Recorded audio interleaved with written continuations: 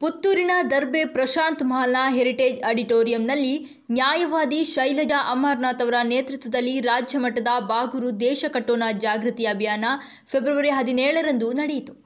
ಈ ಕಾರ್ಯಕ್ರಮವನ್ನು ಡಾಕ್ಟರ್ ಸುನೀಲ್ ಕುಮಾರ್ ಹೆಬ್ರಿ ದೀಪ ಬೆಳಗಿಸಿ ಉದ್ಘಾಟಿಸಿದರು.